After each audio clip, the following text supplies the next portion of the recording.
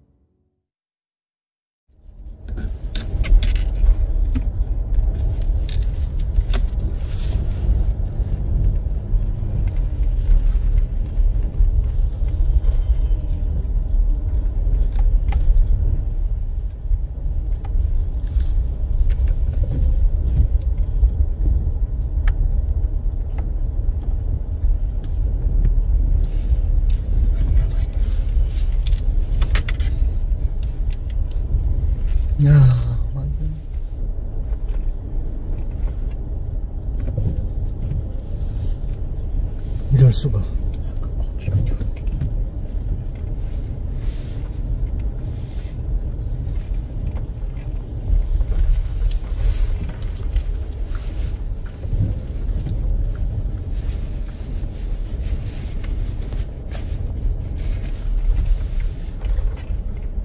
야, 차들이 그냥.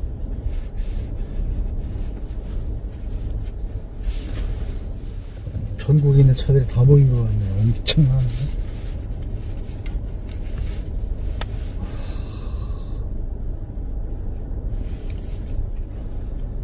어떻게 될 수가 없네. 계속 들어가는 거야.